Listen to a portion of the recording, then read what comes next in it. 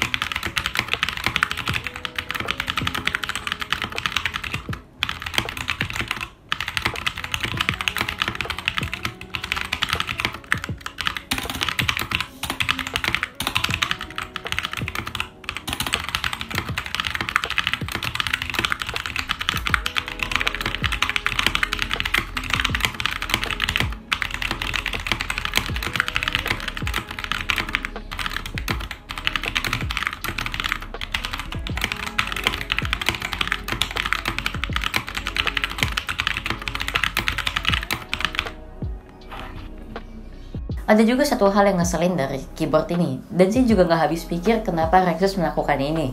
Kalau misalnya teman-teman perhatikan, kabel dari keyboard ini tercolok di bagian kanan. Ya, bukan di tengah. Ya, mungkin ini bisa jadi nilai plus buat kalian yang PC-nya ditaruh di bagian kanan kalian. Tapi ini bisa menjadi salah satu hal yang paling meresahkan kalau misalnya kalian taruh PC kalian di bagian kiri. Sebenarnya kan nggak usah khawatir banget sih sama ini, soalnya kabel dari keyboard ini memang rada panjang sekitar 2 meter. Tapi ya angka baiknya kalian ukur-ukur dulu aja sebelum beli keyboard ini. Oh ya teman-teman, kabel dari keyboard ini juga udah dilapisi oleh nilon fiber. Jadi udah bagus ya kualitasnya. Kita lanjut ke bagian belakang keyboard ini. Di bawahnya ada dua karet biar nggak goyang-goyang pas lagi main game.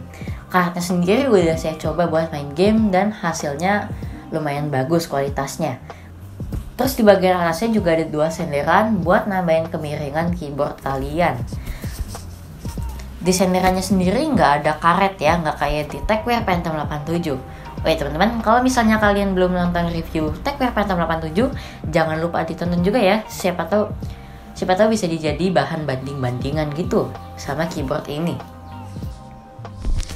Tampilan-tampilan dah kita cover. Sekarang kita bakal lihat fitur-fitur yang ada di keyboard ini. Yang pertama keyboard ini adalah keyboard hot swappable.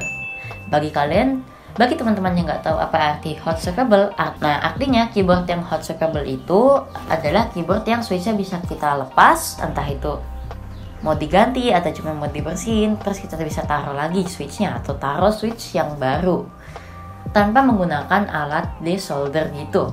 Nah kalau misalnya sebuah keyboard itu nggak hot swappable, buat lepas terus masang switch itu butuh perjuangan guys.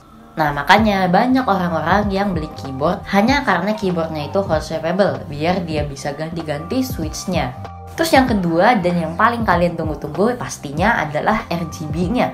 Untuk RGB di keyboard ini sudah cukup, tapi sebenarnya emang rada terbatas. Nah, kenapa terbatas? Karena pertama hanya ada 6 warna dan hanya ada 11 mode. Nah terus kalian juga ngaturnya itu lewat keyboard karena keyboard ini nggak punya softwarenya sendiri. Nah cara cara mau ganti-ganti Nah cara ganti mode-mode RGB-nya gimana? Jadi kalian kalau mau ganti mode RGB-nya Kalian pencet function sama insert secara bersamaan Nah itu modenya nanti bakal ganti-ganti guys Terus kalau mau cepat ngelam cepat lambatin suatu mode Kalian bisa pencet tombol function Terus kalian pencet arrow keys yang ke kiri sama kanan Kalau kanan itu lebih cepat, kalau kiri itu lebih lambat Terus kalau misalnya kalian mau atur redupnya suatu mode RGB, kalian bisa pencet function sama arrow key yang ke atas dan ke bawah.